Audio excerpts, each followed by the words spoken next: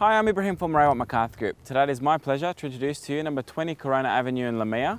This property is located in one of the most sought after pockets in the suburb. With fantastic street appeal, let's come through and let's take a look. This well maintained masterpiece is located on the high side of the street with great views and four spacious bedrooms, built in wardrobes, large bathroom, accompanied with an ensuite to the main. With plenty of potential to either renovate or keep the property as a blank canvas, living and dining space is certainly flexible and practical for the large family home. We have multiple areas for entertainment, which includes sunroom that is overlooked from the kitchen.